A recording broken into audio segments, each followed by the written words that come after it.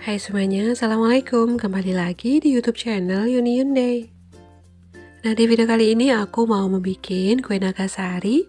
Nah ini yang versi potongnya ya Jadi lebih simple tanpa menggunakan daun pisang.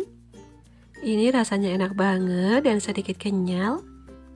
Nah bagi kalian yang pengen tahu gimana cara aku bikinnya Dan apa aja bahannya Tonton ya videonya sampai selesai Sekarang kita siapkan bahannya dulu. Di sini ada 100 gram tepung tapioka, 200 gram tepung beras, aku menggunakan rose bran, 200 gram gula pasir atau bisa disesuaikan dengan selera. Selanjutnya ada setengah sendok teh garam dan setengah sendok teh vanili bubuk. Selanjutnya ada 800 ml santan, ini dari satu butir kelapa. Dan ada pisang, untuk pisangnya boleh menggunakan pisang jenis apa aja dan nanti kita gunakan secukupnya. Oke, sekarang mari kita membuatnya. Siapkan wadah lalu masukkan gula pasir. Kita masukkan juga tepung beras dan juga tepung tapiokanya ya atau tepung kanjinya. Pokoknya di sini semua bahan kita masukkan ke dalam satu wadah. Tapi kalau untuk santannya ini aku memasukkannya bertahap. Kenapa? Supaya mengaduknya lebih mudah gitu. Ini kita aduk-aduk sampai semuanya larut, sampai gulanya juga larut, dan sampai tepungnya tidak ada yang mengumpal ya teman-teman.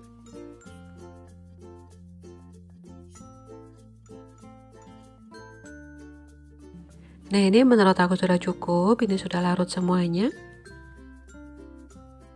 Sekarang aku siapkan loyang, ini ukurannya 20 x 20 cm. Kita olesin dulu menggunakan minyak goreng tipis-tipis.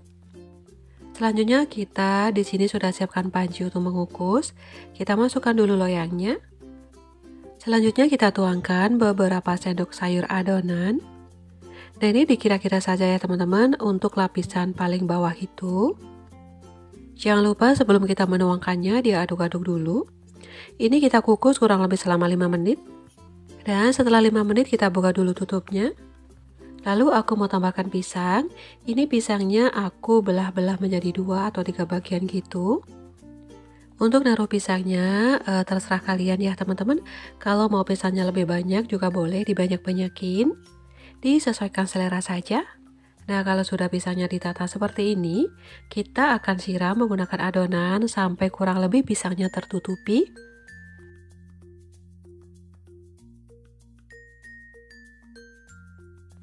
Lalu kalau sudah kita tutup kembali dan kita kukus kurang lebih selama 5-7 menitan gitu.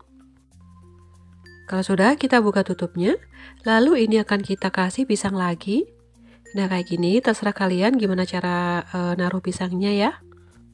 Nah kalau sudah seperti ini lagi kita akan tuangin menggunakan adonan lagi sampai pisangnya tertutup. Nah begitu seterusnya sampai seluruhnya selesai dan habis ya teman-teman.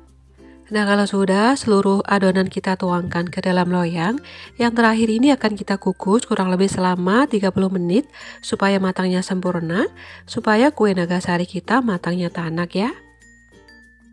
Dan ini setelah 30 menit kita kukus, ini sudah matang, kita matikan apinya dulu. Kita angkat dan ini kita biarkan sampai dingin, baru kita keluarkan dari loyangnya.